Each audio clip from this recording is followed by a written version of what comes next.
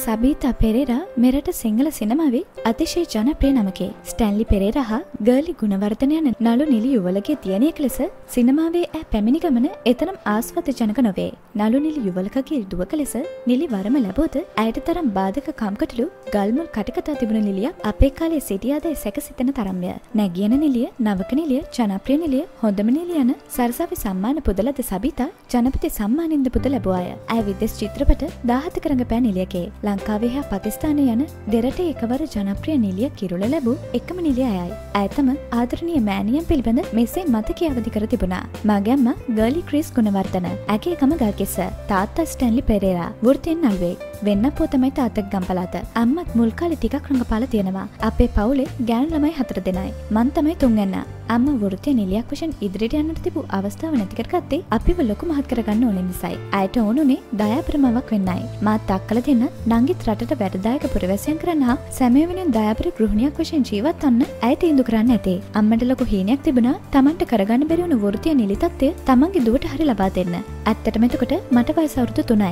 මම තාත්තගේ දුව හැටියට හතර කේන්දරී චිත්‍රපටය රඟපෑවා. ඊළඟට අම්මගේම දුව හැටියට ඉවසන දනා චිත්‍රපටය රඟපෑවා. මේක තමයි මගේ කලාවි තිමිරිකය මුලින්ම අම්මගේ උමනාවට රඟපෑවත් ටිකෙන් ටික ලොකු වෙනකොට නිලියකට සමාජය ලැබෙන ගෞරවයේ වටිනාකම තේරුම් අරන් මටත් රඟපාන්න හිතුණා. ඒත් තාත්තා තරම් කැමැත්තක් මුල් කාලේ දැක්ුවේ නැහැ. මම මොන්ටිසෝරි ඉඳන් එක දෙක ශ්‍රේණි දක්වාගේ විශාඛ විද්‍යාලයටයි. තාත්තා හරිම අවිවේකී චරිතයක්. ඒ නිසා ගෙදර කටයුතු සියල්ලම කළේ අම්මා. මෙහෙකාරයන් හිටියත් දරුවන්ගේ වැඩ තමාම කළේ නැත්තම් අම්මට හරිම හිතට අමාරුයි අම්ම බල්ලෝ ඇති කරන්න ආස නිසා ගෙදර බල්ලෝ හත අටක් හිටියා. ඒ අය නාවන්න කවන්න පොවන්න මේ නිසාම අපිත් පුරුදුනා. මේ හරහා සතුකු වෙනුවෙන් හරි උණුවන හදවතක් වගේම සංවේදී සිතුම් පිතුම් අපි තුළ ජනිතුනා. මෙහෙමෙන්න ගමන් අපේ ආච්චි විතරක් වෙන්නපුවේ මහගෙදර ඉන්න බව කියමින් තාත්තා තරමක් විසෝප වෙන්න ගත්තා. එතකොට තාත්තයි අම්මයි කතා කරලා පුදුමාකාර තීන්දුවක් ගත්තා. ඒ තමයි ගල්කිස්ස ගෙවල් වහලා දාලා වෙන්නපුවට යන්න. හැබැයි ඒ වෙලාවේ එහේ යන ටිකක් හිතට අමාරු නම් ඒ ගැමි පරිසරය තරම් මගේ ළමා කාලේ පෝෂණය කළ තැනක් තවත් නැහැ. තාත්තගේ මහගෙදර විශාල පොල් වත්තක් මැද පිහිටලා තිබුණා.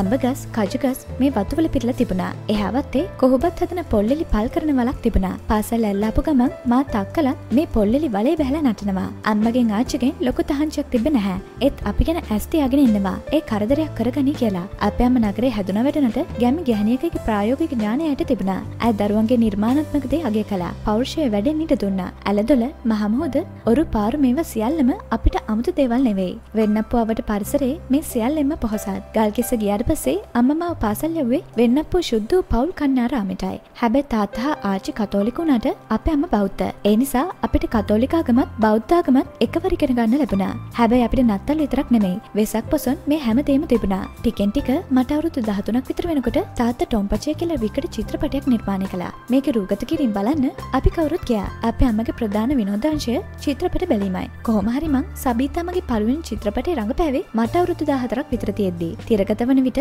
මට අවුරුදු 15ක් විතර. චිත්‍රපටයේ තිරගත වීමත් එක්ක මට විශාල ජනප්‍රියත්වයක් ආවා. මම අපස සාමාන්‍ය පෙළ සමත් වුණා. උසස් පෙළ කරලා විශ්වවිද්‍යාල අධ්‍යාපනයක් ලැබුවා නම් කොච්චර හොඳද කියලාද හිතනවා. ඒත් සබීතා තිරගත වෙලා තාත්තා හදපු සාදා චිත්‍රපටේ රඟපෑවට පස්සේ මට චිත්‍රපට ගලා එන්න ගත්තා. අම්මට තමයි මේකෙන් වැඩියෙන්ම සතුටු. ඊළඟට අම්මා මුළු ජීවිත කාලෙම ගත කළේ මාරකගෙන ෆීල්ඩ් එකේ යන්න.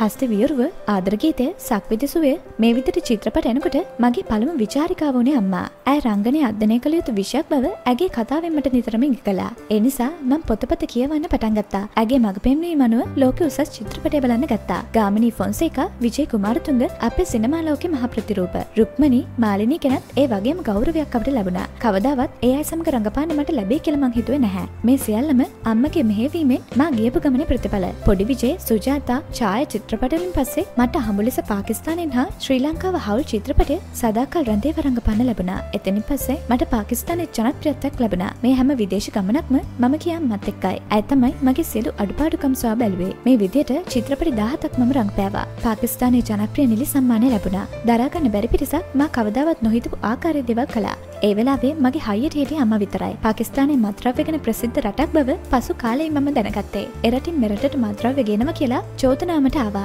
කොටින්ම මේ ගැන හිතලා මගේ අම්මා සනීපුණා. මාව බලාගන්න හිටිය අම්මා මට බලා කියාගන්න උනා. එක්වරක් මා රඟපාන විට පාකිස්තානයේදී එතනට රටේ ආදායම් බදු නිලධාරීන් ආවා. ඒ මට ආදායම් බදු ගෙවන්න කියන්න. ඒකෙන් මම බේරුණා. මට විශාල ආදායමක් ඒ හරහා ආවා. අම්මටත් මටත් හෝටල් කාමර ගුවන් ටිකට්පත් මේවත් එක්ක තමයි චිත්‍රපට ඇරුම් ආවේ. ඉතින් මාව මානසික වටන්න අමෝලික බොරු හදලා බලා කටකතා ප්‍රචාරය වුණා. මගේ අම්ම බොහොම ධෛර්යයෙන් මාව ඉදිරියට ගෙන ගියා. ඇත්තටම මං සේදිවි නසාගත්ත කියලා රාවයක් ගියා. මාව බලන්න යාළුවෙක් ගෙදරට ආවා. අපි ශක්තිමත් ජීවිතයට මුහුණ දෙන්න ඕන කියලා මාව දිරිමත් කළේ අම්මා. අනුන්ගේ දෙයක් උදරගන්න අසාධාරණව හම්බ කරන්න අපැම කවදාවත් අපිට ගැනුවේ නැහැ. ඒ කාලේ මට තියෙන බලල්ලැස් කියලා හැම තැනම කතන්දර ගියා. අම්මා කිව්වේ මගේ ඇස් වෙනස්. හැබැයි ඒව සුන්දරයි. ඔයා කලබල වෙන්න එපා කියලායි. චිත්‍රපට කලසුදු භාවිතයෙන් වර්ණයට මාරුවන විට ශේත්‍රයේ සමහරුන් කිව්වා සබීත ඉවරයි කියලා. බලල්ලැස් වර්ණයට ගැලපෙන්නේ නැහැ කියලා. ඒත් ඒ ඇස්වල අම්මා කිව්ව වගේම මගේ ජීවිතයට ගෙන තුන්නේ ආලෝකයක්. අද මේ රටේ නිලිය බොහොමයක් පෙනී සිටින්නේ තමන්ගේ ඇස්වලින් නෙමෙයි. කෘත්‍රිම ඇස් දාගෙනයි. මගේ අම්මා කිව්වේ සබීතගේ ලස්සනම ඇස් කියලායි. මාත් එක්ක ලෝකේ රටවල් 20කට වඩා